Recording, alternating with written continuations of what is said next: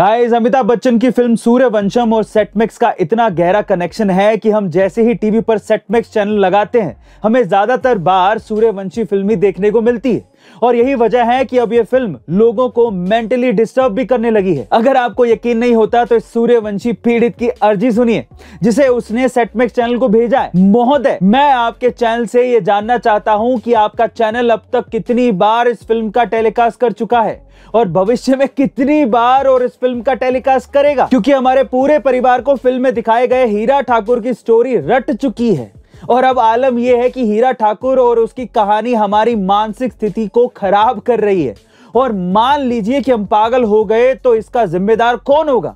कृपया सूचना देने का कष्ट करें। गाइस ये सिर्फ़ एक बंदे की अर्जी नहीं है। इस फ़िल्म का लगातार टेलीकास्ट कई लोगों को बड़े लेवल पर इरिटेट कर रहा है। तो क्या इस हालत में आपको लगता है कि सेटमेक्स को इस फ़िल्म का टेलीकास्ट बंद कर देना चाहिए या फिर यूँ ही जारी रखना चाहिए? कमेंट सेक्शन में ज़रूर लिखेगा।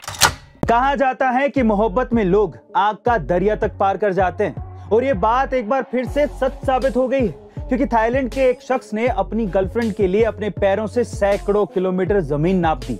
और वो भी उस गर्लफ्रेंड के लिए, जिसे उसने अभी तक सिर्फ़ वीडियो कॉल पर ही देखा है। जी हाँ गाइस 1400 किलोमीटर दूर रह रही उसकी ये गर्लफ्रेंड पाँच महीने पहले ही उसे टिकटॉक पर मिली थी। और टिकटॉक पर ही उसने उसे प्रपोज कर दिया था, जिसके बाद गर्लफ्रेंड ने उसे एक चैलेंज दे दिया। कि अगर तुम मुझसे सच में इतना प्यार करते हो तो मुझसे मिलने पैदल आओ।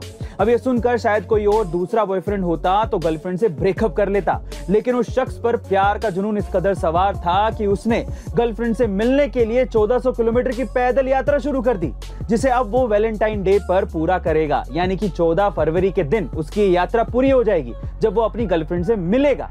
गाइस इसे कहते हैं सच्चा प्यार। वैसे गाइज़ आप वैलेंटाइन पर अपनी गर्लफ्रेंड के लिए क्या स्पेशल करने वाले हैं? कमेंट सेक्शन में ज़रूर लिखेगा गाइज़ आजकल पैसे वाले और ज़्यादा अमीर होते जा रहे हैं, लेकिन मिडिल क्लास वहीं के वहीं है, वो तरक्की नहीं कर पा रहे। और इसकी सबसे बड़ी वजह यह है कि अमीर लोग इन्वेस्ट करते हैं लेकिन मिडिल क्लास लोग सिर्फ़ दिखावे में रह जाते हैं या फिर अपनी जरूरतों को पूरा करने में ही सारा पैसा खत्म कर देते हैं।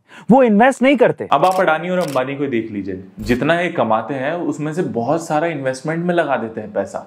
इसलिए अब आपके लिए ज़रूरी है कि आप जितना भी पैसा कमा रहे हो उसमें से कुछ परसेंट इन्वेस्ट ज़रूर करें। और इसका सबसे अच्छा तरीका है म्यूचुअल फंड क्योंकि यहाँ आपको किसी कंपनी के स्टॉक खरीदने जितनी रिसर्च नहीं करनी पड़ती। पड़ती। और स्पेशली आप अगर बिगिनर हैं तो इससे अच्छा तरीका आपके लिए कुछ भी नहीं हो सकता है। क्योंकि यहाँ आपका पैसा एक फंड मैनेजर और उसकी प्रोफेशनल टीम मैनेज करती है, जिन्हें मार्केट का अच्छा एक्सपीरियंस होता है। तो इन्वेस्टमेंट की जर्नी स्टार्ट करना चाहते हो तो बायो में लिंक है, वहाँ पर जाएँ और अपने पैसों को काम में लगाएँ। पर याद रहे mutual funds are subject to market risk तो इन्वेस्टमेंट से पहले अपने एडवाइजर से सलाह ज़रूर ले लेना।